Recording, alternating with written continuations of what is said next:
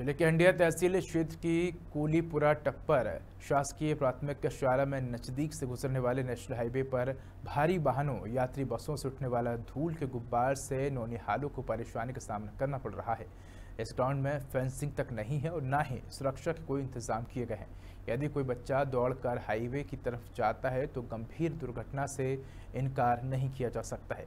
ग्रामीणों का कहना है कि यहाँ से गुजरने वाले नेशनल हाईवे में विद्यालय का कुछ हिस्सा आने से पेयजल का हेडपंप और शौचालय टूट जाने से छोटे छोटे नौनिहालों को पेयजल संकट की मार झेलनी पड़ रही है।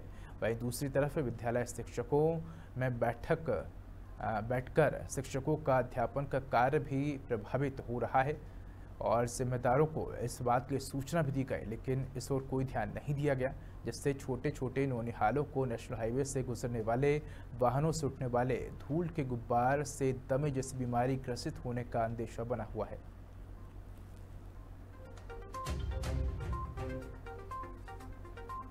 बहुत दूर है हमको भोजन भी नहीं होने देते हमारे यहाँ पे रास्ता नहीं है स्कूल आने का अच्छे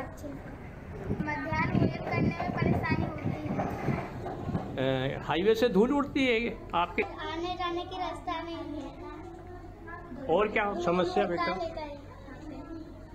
धूल उड़ता है। और क्या समस्या है बेटा भोजन की? यहाँ पे पानी नहीं है करीब।